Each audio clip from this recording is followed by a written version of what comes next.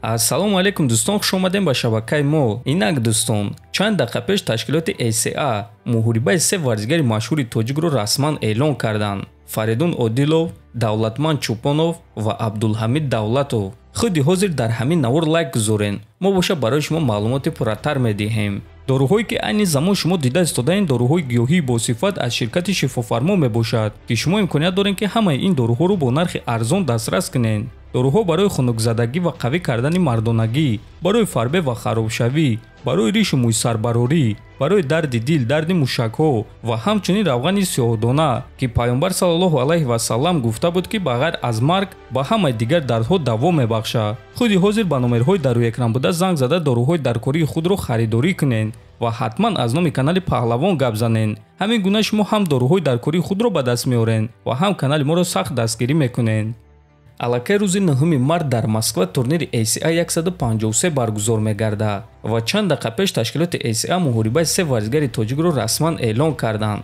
ва биён оғоз мекунем аз муҳорибаи давлатманд чӯпонов давлатманд чӯпонов бо рекорди 113 зидди варзигари бразилӣ карлос августо бо рекорди 215 муҳориба дар вазни 66 килограмм яъне ним сабук баргузор мегардад. Чӣ гунае ки медонем дӯстон худи давлатманд чӯпонов ба августо визов дода буд. Ва августо визови ӯро қабул кард. Акнун чӣ гунае ки мебинем ин муҳориба барои ташкилот ҳам шавқовар аст ва онҳо ин муҳорибаро ташкил карданд.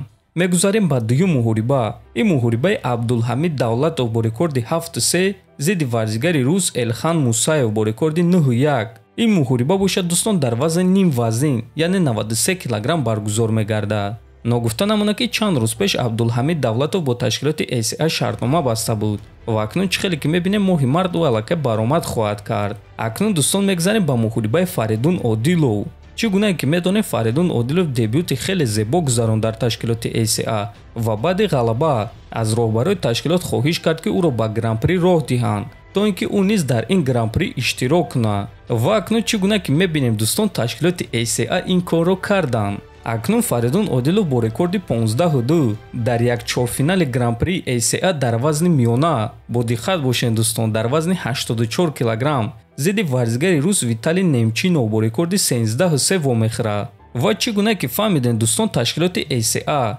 ба фаридун одилов имконият доданд ки дар гран-при эса барои 1 миллион доллар ва камарбанд иштирок кунад ва ӯ дар вазни миёна яъне 84 килограмм баромад мекунад. Бояд гуфт ки аввалин муҳорибаи худро фаридун одилов дар ташкилоти эса дар вазни 93 килограмм яъне ним вазнин гузаронид. Боз такрор мекунам дӯстон ки ҳар сеи ин муҳорибаҳо рӯзи 9 март дар москва дар турнири эса 153 баргузор мегардад. Айни замон фаридун одилов ҳафт ғалабаи пайдарҳам дорад рақиби ӯ виталий немчинов боша як ғалабаи пайдарҳам.